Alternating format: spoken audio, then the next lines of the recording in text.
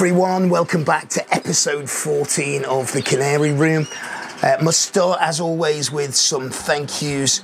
Huge, huge thank you to everybody who has donated to the channel.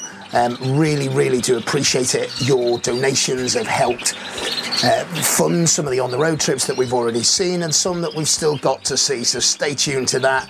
So, Sean Byrne, Martin Gentles, Mike Burling, of course, Mike, Brian Lahori, Debbie Stout, and Antonio. Thank you so much for your kind donations. If you're able to, on the homepage of the YouTube channel, little donate button there. Well, what have we got in store? Well, it's uh, an action packed episode today, back in the room. Uh, thanks for all of your kind words on the Terry Kelly episode. I'm really glad you enjoyed it. And, uh, well, over the course of the next couple of weeks, we're back on the road again. We're going to see uh, Mr. Bernard Williams, um, an incredible man and an incredible setup. And then we will be down taking a trip to Norfolk to go and see Nick and Annalyn Barrett and their family uh, and the Glen Arif pedigree livestock. So, not just canaries in that one, but uh, cows and sheep and, uh, and pigs too. So, something very much to look forward to. On today's show, of course, we'll catch up with the Fifes. We've got the Native Diaries, the Norwich Notebook, New Colour Corner, and because it's the first episode in July, the to do list as well. As always, grab yourself a cuppa. I've left mine in the house. Sit back and enjoy the show. Well, look, it wouldn't be the Canary Room, would it, without its ups and downs and rounds and abouts. In terms of the Fifes, it's um, it's kind of petered out the season. It's fair to say the uh, the fawn hen we've got's just hatching some eggs today. Um, the rest of the birds, well, didn't get the kind of yield from the nests that we set that you saw in episode 12 that we'd anticipated. The weather's been up and down and, and, and really, really quite challenging. So, as a consequence, although we've got some really good numbers still in the nest, we haven't got the numbers that we probably expected. There's some real quality with the Fifes though, and for me, it's all about the quality over the numbers. So we've got the birds really in a in a kind of um, a halfway house position, really. So the majority of the adult birds are now in the flight cages. There's one or two still feeding. Um, you can possibly see it's maybe just a little bit out of shot, but the cockbirds, which you can probably hear, they still sound in really good voice. The cockbirds that I'll retain for next year, certainly a number of them that I'll retain, they're in double breeding cages now, so they'll stay there as they go through the molt uh, and as they overwinter. So we'll keep an eye on them. They've got a little bit more space to fly, but they can molt out in isolation. They're an important part of the stud moving forward, and I want to make sure that they've got every every opportunity to develop. In terms of the uh, the Fifes, then, well, what I've done, all about order in the canary room. Uh, the top two rows here that you can see just in shot, they've got some of the first and second round young in them. Now, I have been taking some birds away to wean. Um, we've seen how we wean canaries, seen how we wean birds. We've uh, got a few birds, a few more dark birds in there as well. We've got a flush of light birds to come through still to wean away. But this row here and this row, this is where the darks are. Now they're housed in single cages in pairs. In this cage here, there is a, a trio of nestmates. Um, I will move one of those when another cage becomes available. And then in the next two rows, then that's where the light birds are. Um, I'm really pleased with the light birds this year. I think they've come on leaps and bounds. They were strong last year. They've improved again this year.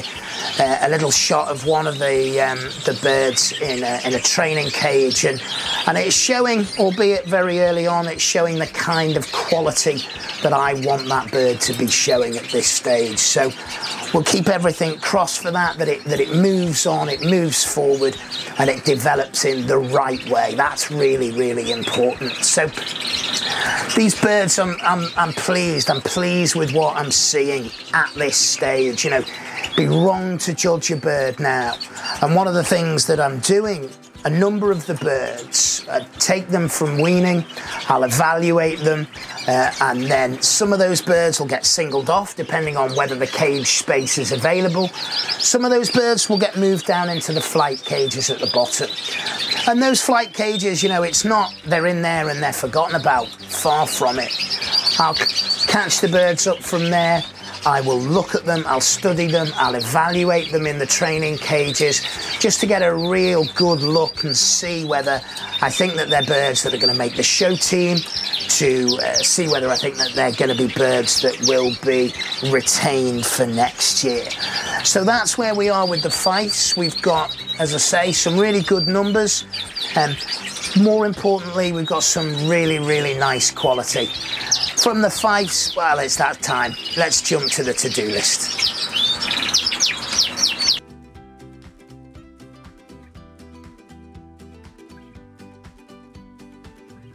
Many fanciers will know this part of the year, well, it's the molt or it's the start of the molt, and it's all about sweeping up feathers.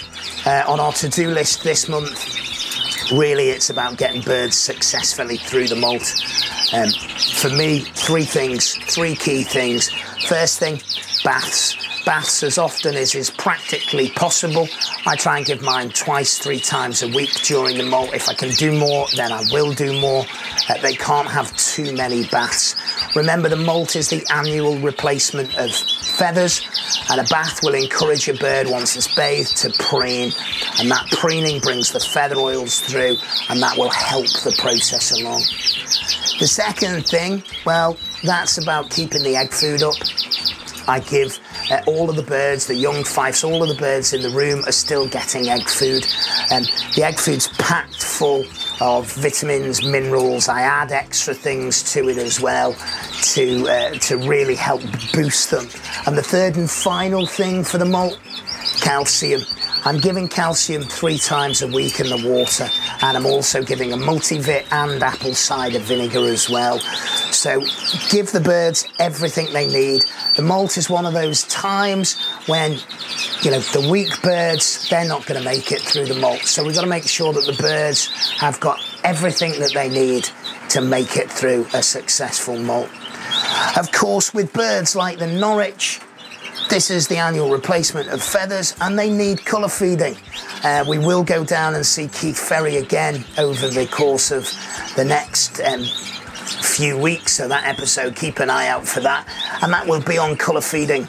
But Keith has very, very kindly done a little uh, little explainer video to us now of some of the things he does in the meantime. So without further ado, over to you, Keith. Once you've weaned your birds and they're between six to eight weeks old, first round eight weeks, second round six weeks, and you don't want to be mixing colour food and soft food for the last round, keeping it the same mix. What I recommend to all novices is an easy way to start is always use Carophyll orange, Carophyll orange, put some in a pepper pot and just sprinkle it as if you're peppering your dinner.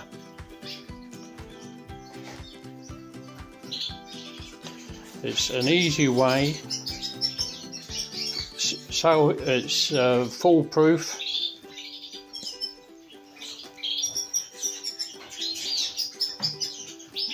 And any novices, it's the easy way until you get used to uh, with the Norwich before you start mixing it any other way. That's what I would recommend. Uh, so simple. And uh, for me, I would do it um, until most of the birds are ready for molting. It's saved me mixing two lots of soft food.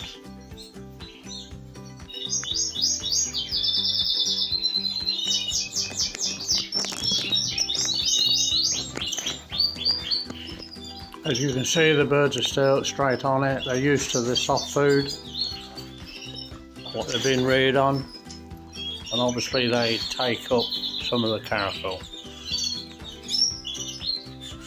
You do use more Carophyll if you stick to this right through the season, um, but it's like I said, it's foolproof. really appreciate Keith taking the time and, and sharing the information that he's got. And I've been out and bought myself a little pepper cellar as well for that. So we're um, that's it really for for this month. Of course, when I talk about the malt, I'm really only talking about the canaries because the native finches, well, they're still rearing young, and some of them, as we can see here, are still looking back to go into nest. So it's that time. It's the Native Diaries.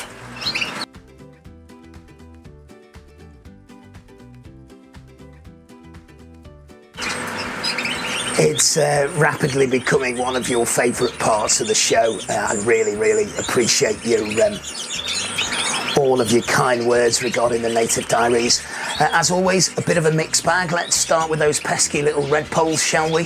Um, it's been a, it's been a good season for the redpolls. We can see here we've got a hen uh, who's feeding a nest. Um, she's got four in there. This is seven eggs. Four of them were, uh, seven of them were all full, I should say.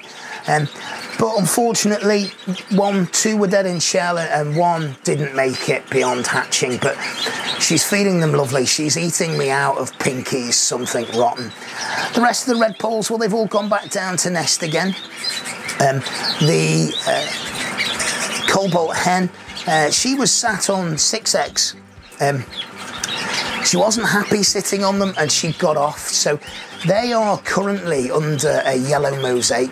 Uh, whether or not the yellow mosaic will rear them, I don't know, but I didn't want to bin them, I didn't want to throw them away.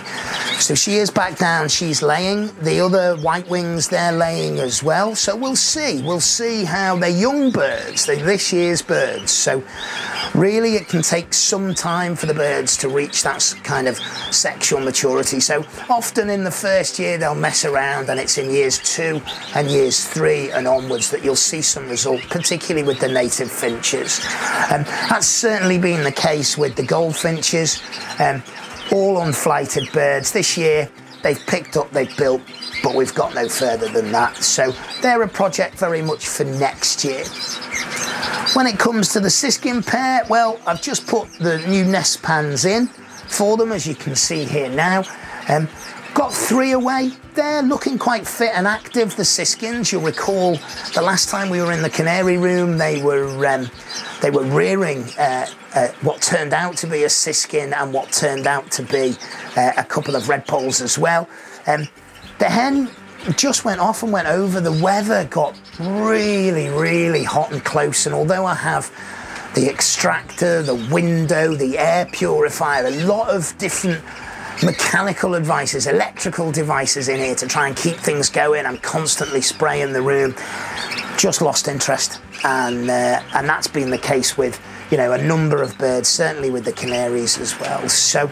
Um, that's the, uh, the the goldfinches and the siskins.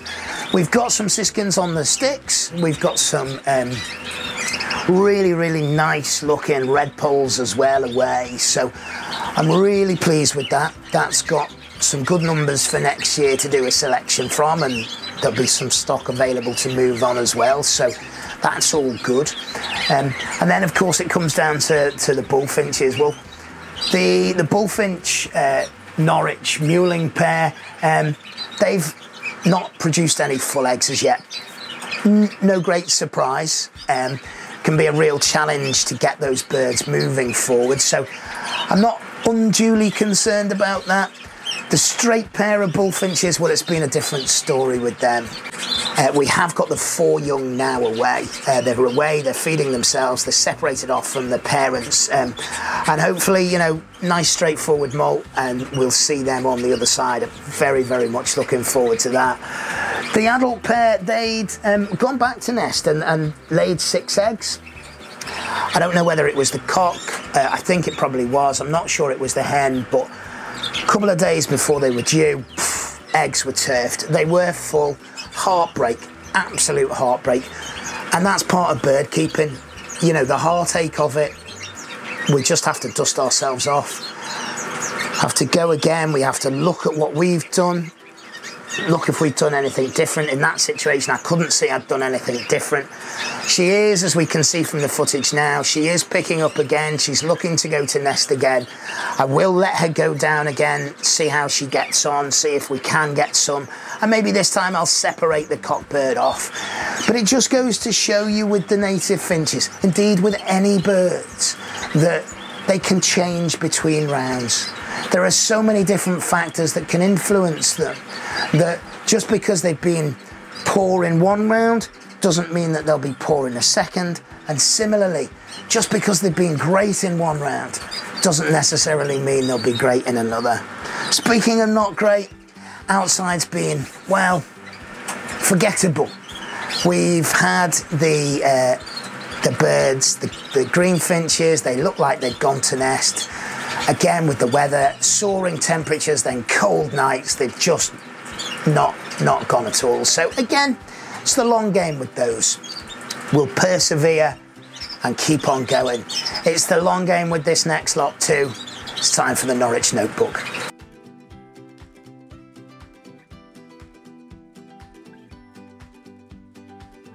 With the Norwich, I was chatting to Keith the other day, and, and, and with the Norwich, he said, you know, as soon as the birds drop flight feathers, that's pretty much it. The cockbirds won't fill eggs once they've dropped flight, flight feathers. Well, ours, as you can probably tell behind you, it's like a burst mattress here, have. Um, what we've got, which is quite interesting, is one of the pairs up here are um, have laid. Uh, they've laid four eggs now. Um, I've just left them to it. The rest I've pulled the pans out of. Uh, I will put them together at some stage and, and look to molt them out um, together and then obviously give them the appropriate colour food. Um, I've ahed about that actually, whether I, I, have no intention of showing these birds, so whether to colour feed them or not, I'm, I'm, I do not know. Uh, I'll, I'll think about that, we'll see. Maybe hit the comments below, say what you think. Um, so the Norwich, it's been, you know, it's been an okay season with the Norwich. I've got um, a couple away that I've just taken away that are feeding themselves, which is uh, always a pleasing sight. Um, and I've got four away uh, of a relatively well developed stage. So obviously they've all got to get through the molt. So that's half a dozen.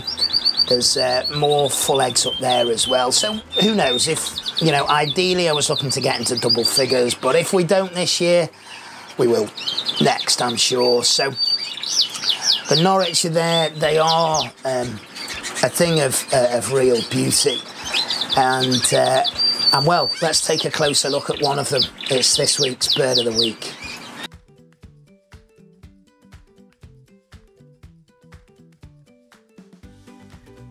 So this week's bird of the week is uh, a Norwich that we bred from the, the bird that we got in from Keith.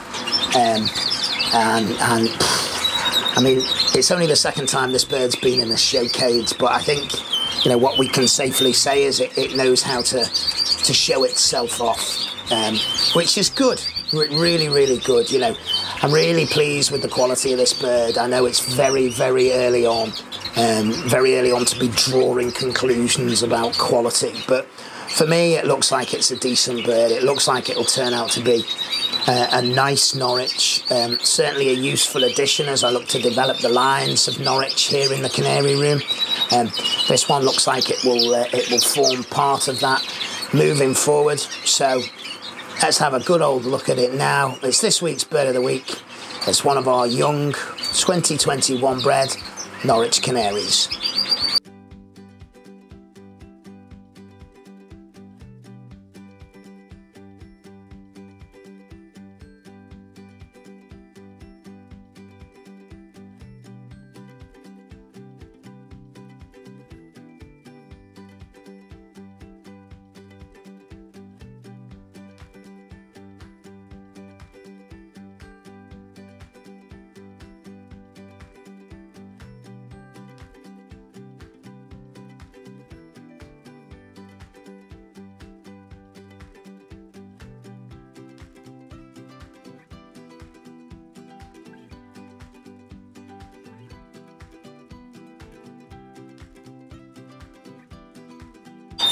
Our uh, final final feature today is, of course, the new colour corner. Um, been a good year with the new colours. We've got um, the uh, one of the red black grey wings now. She's got um, six young under her. There's a grey wing under there and uh, five fifes, I think. Um, so she seems to be doing a really good job of those. The yellow mosaic at the bottom, she's got a couple of her own eggs as well as uh, the redpoll eggs. And the pair here have just started to lay again, which is um, which is uh, you know unexpected, but uh, I'll probably it's a little bit late, but I'll I'll probably let them sit and let that go. The um, the young, the the grey wings, the yellow mosaics, well, they're all in the wire cages. They're being colour fed they're elsewhere. Let's take a, a, quick look at them now. There's not a great deal to look at. They're not overly spectacular at this moment in time, but once they're all coloured up, they most certainly will be. Been a real pleasure, the new colours this year, a real, real pleasure, and an awful lot of interest in them. So thanks for everybody who's got in touch. Well, it's the end of another show. Thank you very much for watching. If you haven't subscribed to the channel, please subscribe. Give us a like, give us a thumbs up to the video as well. Hit the comments below. Try and reply to every all of the comments that are down there. Coming up over the next couple of episodes, we will be on the road. Next up, we're at Bernard Williams's. Uh, incredible setup, an incredible man. Um, really, really enjoy that. It's almost an hour with Bernard Williams, looking at the history of bird keeping as well as his current setup and the current birds that occupy his incredible flight. I think I may have said incredible a few times. And then we're off to the Glen Arif Pedigree Livestock down in the beautiful countryside in Norfolk. Uh, a wonderful, wonderful episode. Um, really, really look forward to, to bringing that to you and getting to see all of the stuff that Nick and Annalyn Barrett and their family are doing down there. Um, we will continue in the Canary Room. We'll do another update from here, uh, probably sometime in August. But until next time, everyone, thanks for watching. Take care.